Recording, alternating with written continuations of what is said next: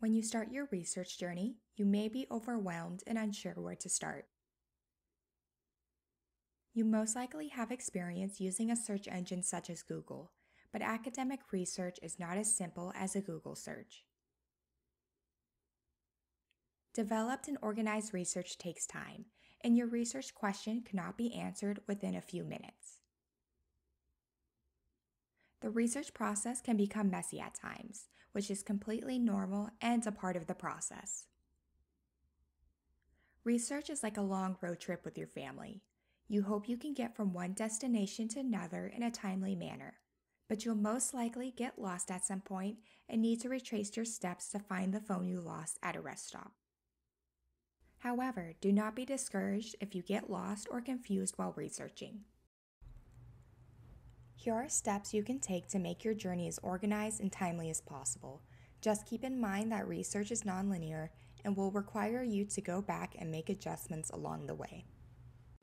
The first step of the research process is to understand the requirements of the assignment and understand what your instructor is requesting. Take notes and ask your instructor for clarification on any question you may have.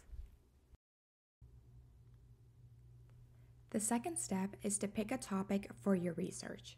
Since you'll be spending a large amount of time researching, it is important to pick a topic that is of interest to you.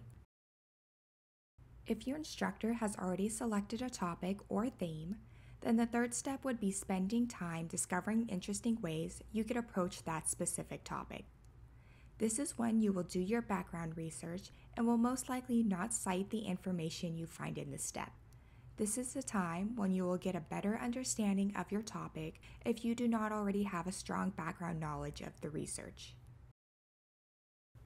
After you have a solid background knowledge, then the fourth step is to refine and polish your research topic. Since research is nonlinear, you may need to revisit the previous steps multiple times before you solidify your final topic.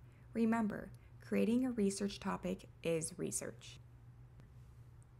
The fifth step is finding and selecting your resources. This is the step where you should be prepared to do a lot of searches with various search terms.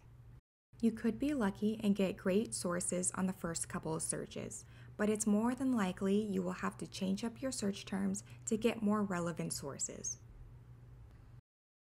You may discover during this step that the research is leading you away from your original topic, or there are not enough published sources to support your research.